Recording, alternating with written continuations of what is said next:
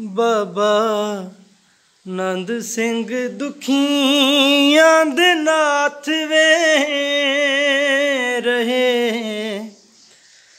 Sir ਪੇ ਮੇਰੇ ਤੇ ਰਹਾ ਰਹੇ। ਸਰ ਪੇ ਮੇਰੇ ਤੇ ਰਹਾ। ਮੇਰੀ ਕੋਈ ਨੇਕ ਕਮਾਈ।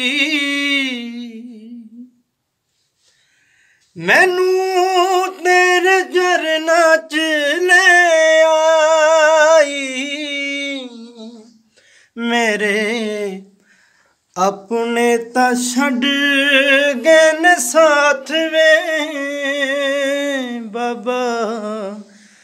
ਨੰਦ ਸਿੰਘ ਦੁਖੀਆਂ ਦੇ ਨਾਲ। ਬਾਬਾ ਨੰਦ ਸਿੰਘ ਦੁਖੀਆਂ ਦੇ ਨਾਲ।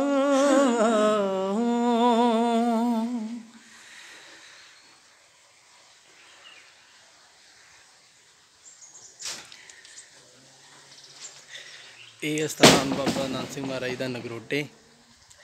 ਬਾਬਾ ਨਾਨਕ ਸਿੰਘ ਮਹਾਰਾਜ ਨੇ 6 ਮਹੀਨੇ ਰਹਿ ਕੇ ਇੱਥੇ ਗੁਫਾ 'ਚ ਜਪ ਤਪ ਕੀਤਾ।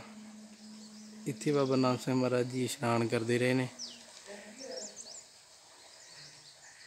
ਇੱਥੇ ਗੁਰੂ ਨਾਨਕ ਸਾਹਿਬ ਮਹਾਰਾਜ ਨੇ ਦਰਸ਼ਨ ਵੀ ਦਿੱਤੇ ਨੇ ਬਾਬਾ ਜੀ ਨੂੰ।